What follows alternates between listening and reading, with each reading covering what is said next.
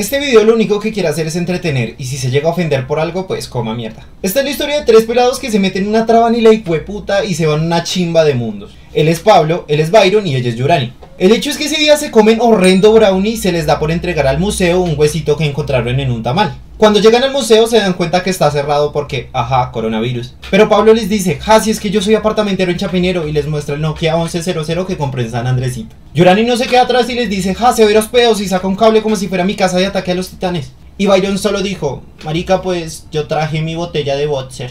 El hecho es que por fin entraron al museo, pero habían unos rayos láser como en las películas. Y por lo trabados que estaban, se pusieron a bailar. Porque sí, eso es lo único que hacen estos malparidos. Ay, cantar.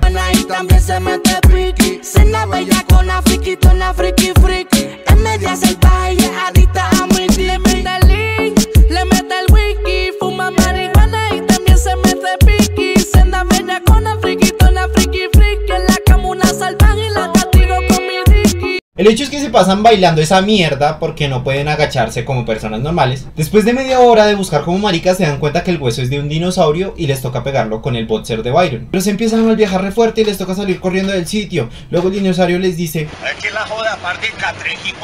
Y los pelados les responden...